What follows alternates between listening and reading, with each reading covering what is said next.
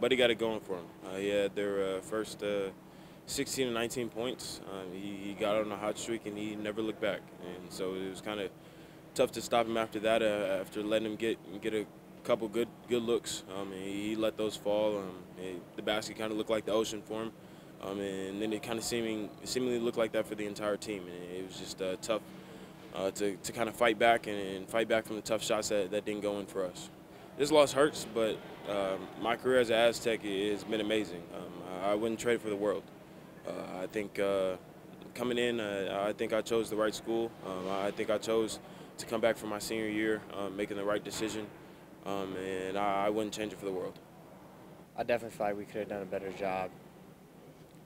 Uh, you know, he hit some tough ones for sure, but when a guy gets rolling like that, um, you got to find ways to stop him. We gave him, you know, to, to a casual fan, it doesn't seem like he got some easy ones, but he got some easy ones for him, for, for a player of his shooting caliber.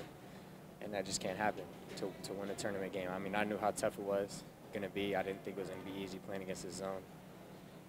You know, but we, I mean, we fought till the end. Um, it is what it is. It means a lot. Um, it means a lot. Like I said in the other interview, I just I'm extremely grateful for for them. You know, taking taking me, um, letting me be a part of this family for four years. Um, you know, we had some great moments.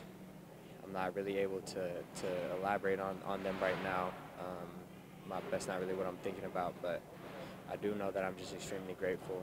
And, um, you know, win, win or lose, I always give the glory to God. So that's that.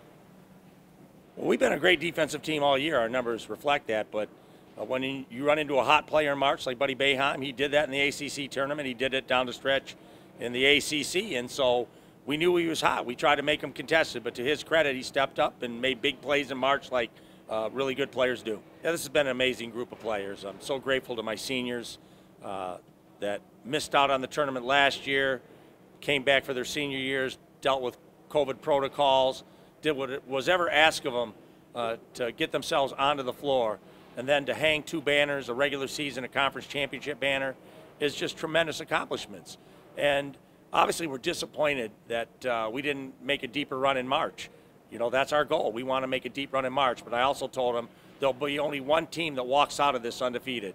And so I was hoping our loss, if we had one, would come a little later, but it happened tonight. And so uh, we had to immediately reflect on the year, all the great things that we did and accomplished, and how proud I was of each and every one of them. Well, Matt and Jordan, uh, and Adam Seiko too, even though he was a redshirt junior, started with me four years ago, my first year as a head coach. Uh, they've been to two NCAA tournaments, would have gone last year to three.